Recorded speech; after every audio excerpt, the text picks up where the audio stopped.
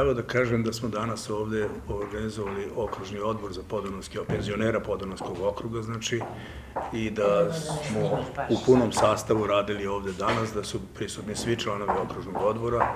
Razgovarali smo o bitnim stvarima vezanim za funkcionisanje naših organizacija, udruženja i Saveza penzionera. Znači, radi se o izmenama statuta Saveza penzionera Srbije i mi smo ovde razmatrali neka pitanja, znači neke predloge koji su dati za izmene tog statuta.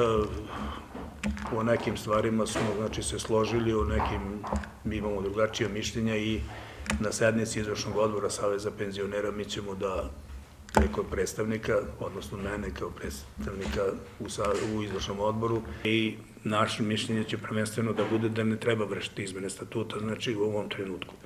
E, da li će to da prođe, to zavisi od e, izvršnog odbora i Skupštine Saveza penzionera.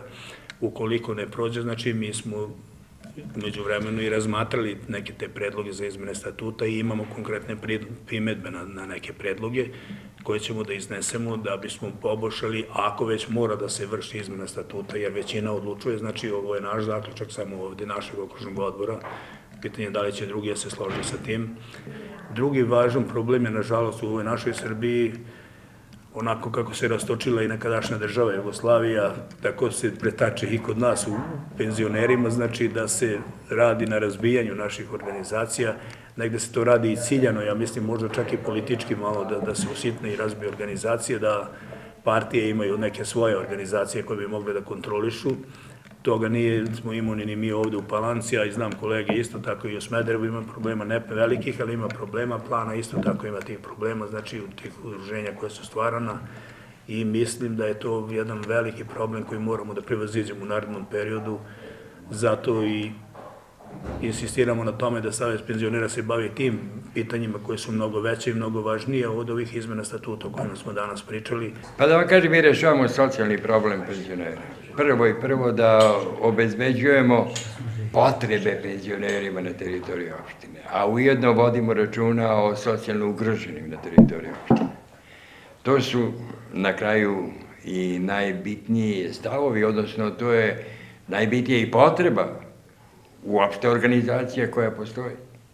Jer druge nemamo mi, nemamo ni političke ambicije. Da je puno penzionera koja danas se javljaju? Kako da ne? Mnogo je takvih penzionera koji dolaze i stalno dolaze, svakog dana dolaze.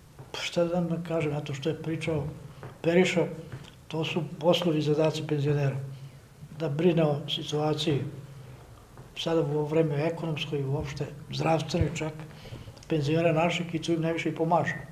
Naš osnovni posao je nabavljanje namirnica kojima sad su najpotrebnije, znači prehrebenih artikala i mi velike količine nabavljamo penzionerima naš, aj sad da kažem, pasulj, krompir, luk i tako to, i ogrev. To su sad osnovni naši poslovi. I nešto što se tiče ovih drugih poslova oko političkih, tako da kažem, mi se slažemo, ovo što kaže Periša, da one organizacije koje su ranije političke najviše brinule penzionerima, to je bio Savez penzionera, ovaj, Sotička partija Srbije, pa smo onda sa PUPS-om, tim sa PUPS-om smo milo loše, imali lošu saradnju, naljutili smo se na njih mnogo, jer taj predsjednik koji je tamo nije ono što bi trebalo da bude, gleda više lične interese i nije omasovio tu političku partiju koliko bi trebalo, koliko ima penzionera, vrlo mali broj su članovi partije ujedinjenih penzionera. Prvo nisam tražio.